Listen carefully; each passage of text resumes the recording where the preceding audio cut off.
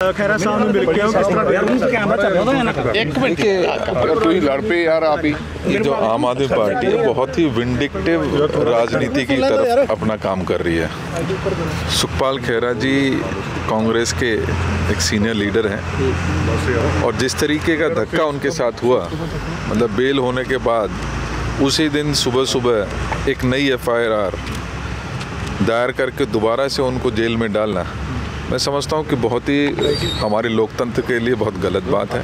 हम आज मिले सी और तकड़े ने आपा उन्होंने भी कही कि भाई तकड़े रहो तो साड़ी पार्टी की तरफ़ से मैंने उनको मैसेज दिया है कि आप तकड़े रहो। हम जो सच की लड़ाई है उसको हमेशा लड़ते रहे सरकार की मंशा क्या है इसके पीछे? यार कैसे निश्चित ही आप देख रहे हैं ना मैं क्या विंडिक्टिव राजनीति बिल्कुल सामने आ रही है।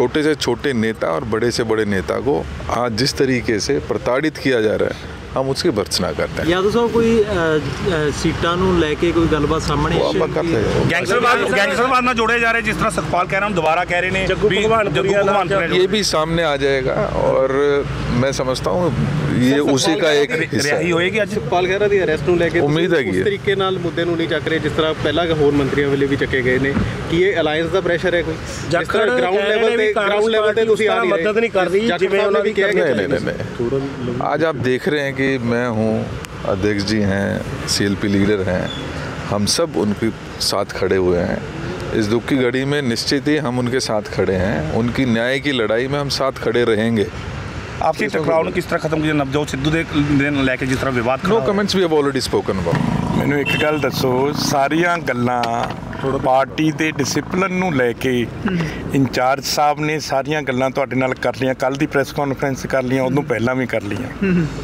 ਔਰ ਜਿਹੜੀਆਂ ਕੋਈ ਪਾਰਟੀ ਦੇ ਕੁਝ ਇੰਟਰਨਲ ਮੈਟਰ ਹੈਗੇ ਆ ਉਹਨੂੰ ਬਾਜ਼ਾਰਾਂ ਦੇ ਵਿੱਚ ਇਦਾਂ ਖਿਲਾਰਿਆ ਥੋੜਾ ਜਾਂਦਾ ਹੁੰਦਾ ਆ।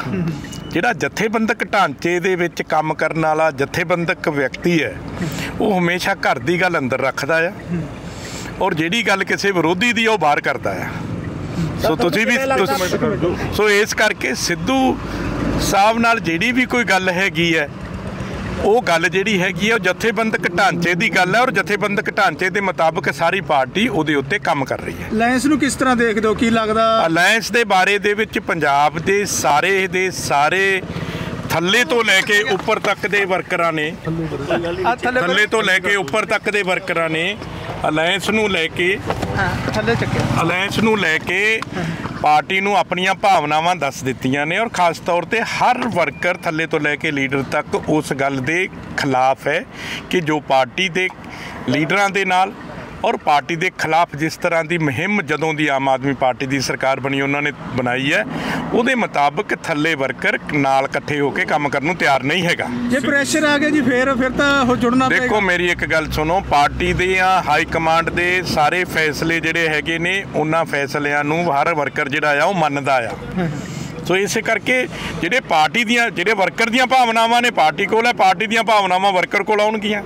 ਕੀ ਲੱਗਦਾ ਜਦੋਂ ਭਾਰਤ ਭੂਸ਼ਣ ਆਸ਼ੂ ਜਦੋਂ ਕੀਤੇ ਆ ਅੰਦਰ, ਉਦੋਂ ਜ਼ਿਲ੍ਹਾ ਪੱਧਰ ਤੇ ਧਰਨੇ ਲੱਗੇ ਨੇ, ਜਦੋਂ ਸੁਖਪਾਲ ਸਿੰਘ ਖਹਿਰਾ, ਉਹ ਸਾਰੇ, ਸਾਰੀਆਂ ਚੀਜ਼ਾਂ ਹੋਈਆਂ ਆ, ਅੱਗੇ ਵੀ ਹੋ ਰਹੀਆਂ ਆ। ਅਸਲ 'ਚ ਕੀ ਹੈਗਾ ਆ, ਆਪਾਂ ਕਦੀ ਵੀ ਕਿਸੇ ਚੀਜ਼ ਨੂੰ ਕੰਪੈਰੀਜ਼ਨ ਦੇ ਨਾਲ ਜਿਹੜਾ ਹੈਗਾ ਆ, ਉਹ ਜਦੋਂ ਤੱਕੜੀ ਤੇ ਤੋਲ ਕੇ ਮਿਲਾਂਗੇ ਤਾਂ ਉਹਦੀ ਗੱਲ ਕੁਝ ਹੋਰ ਹੁੰਦੀ ਹੈ ਪਾਰਟੀ ਸਰਦਾਰ ਸੁਖਪਾਲ ਸਿੰਘ ਖਹਿਰਾ ਦੇ ਨਾਲ ਖੜੀ। ਅੱਜ ਤੁਸੀਂ ਆਪ ਹੀ ਦੇਖਿਆ ਸੀਐਲਪੀ ਦੇ ਲੀਡਰ ਪ੍ਰਧਾਨ ਇੰਚਾਰਜ ਜੇ ਅੱਜ ਉਹਨਾਂ ਨੂੰ ਮਿਲ ਕੇ ਆ ਕੇ ਕੋਈ ਰਣਨੀਤੀ ਤਿਆਰ ਕਰ ਰਹੇ ਨੇ ਤਾਂ ਇਹਦਾ ਮਤਲਬ ਪਾਰਟੀ ਸਰਦਾਰ ਸੁਖਪਾਲ ਸਿੰਘ ਖਹਿਰਾ ਦੇ ਨਾਲ ਡਟ ਕੇ ਖੜੀ ਹੈ ਜੇ ਕੱਲੀ ਜੇ ਜੇ ਕੱਲੀ ਕਾਂਗਰਸ ਲੜਦੀ ਆ ਕੀ ਲੱਗਦਾ ਕਾਂਗਰਸ ਕਿੰਨੇ ਸੀਟਾਂ ਦੇਖੋ ਕਾਂਗਰਸ ਆਪਣੇ ਤੌਰ ਤੇ ਇਸ ਵੇਲੇ ਮੈਂ ਉਹ ਲੀਡਰ ਹਾਂ ਜਿਹੜਾ ਬਹੁਤ ਵੱਡੇ ਵੱਡੇ ਫੜਾ ਨਹੀਂ ਮਾਰਦਾ ਹੁੰਦਾ। ਸਚਾਈ ਤੇ ਠੋਕ ਕੇ ਗੱਲ ਕਰਨ ਦੀ ਹਿੰਮਤ ਰੱਖਦੇ ਆ ਸੋ ਇਸ ਕਰਕੇ ਪਾਰਟੀ ਸਾਰੇ ਹੀ ਦਲਾਂ ਤੋਂ ਵੱਡੀ ਜਿੱਤ ਪ੍ਰਾਪਤ ਕਰੂਗੀ। ਕਿੰਨੀਆਂ ਸੀਟਾਂ ਮੰਨਦੇ ਹੋ ਫੇਰ ਵੀ? ਮੇਰੀ ਗੱਲ ਸੁਣੋ ਨਾ ਤੇ ਮੈਂ ਲੀਡਰਾਂ ਵਾਂਗੂ ਜੋਤਸ਼ੀ ਐ ਤੇ ਨਾ ਹੀ ਮੈਂ ਕਦੀ ਝੂਠ ਬੋਲਿਆ।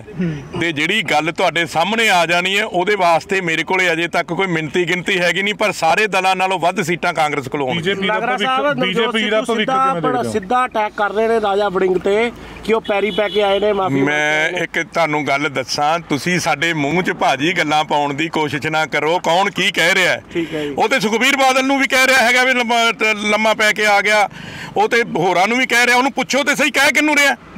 ਬੀਜੇਪੀ ਦਾ ਭਵਿੱਖ ਐਵੇਂ ਤੁਸੀਂ ਆਪਣੇ ਕੋਲੋਂ ਬਣਾਈ ਜਾਂਦੇ ਹੋ। ਕੀ ਹੋਊਗਾ? ਜਿਵੇਂ ਸਿੱਧੂ ਐਂਡ ਜਿਹੜਾ ਇੱਕ ਗੱਲ ਦੱਸੋ ਜਦੋਂ ਦੀ ਦੁਨੀਆ ਬਣੀ ਆ ਘਰ 'ਚ ਭਾਂਡੇ ਖੜਕਦੇ ਆਏ ਨੇ ਤੁਹਾਡੇ ਘਰ ਵੀ ਖੜਕਣ ਡਏ ਆ। ਠੀਕ ਹੈ ਜੀ। ਜੇ ਮੈਂ ਤੁਹਾਨੂੰ ਕਹਾਂ ਤੁਹਾਡੇ ਘਰ ਦੇ ਆ ਕਹਿੰਦੇ ਨੇ ਤੇ ਤੁਸੀਂ ਮੁਰ ਉਹਦਾ ਜਵਾਬ ਨਹੀਂ ਦੇ ਸਕਣਾ। ਬੀਜੇਪੀ ਦਾ ਭਵਿੱਖ ਕਿਵੇਂ ਦੇਖਦੇ ਹੋ? ਕਿਵੇਂ ਦੇਖਦੇ ਹੋ? ਜਾਖੜ ਇਲਜ਼ਾਮ ਬੀਜੇਪੀ ਦਾ ਕੋਈ ਭੁੱਖ ਨਹੀਂ ਪੰਜਾਬ ਦੇ ਵਿੱਚ।